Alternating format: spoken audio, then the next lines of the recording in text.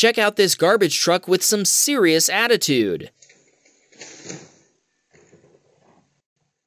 There's gotta be some sort of joke here. Put yours in the comments.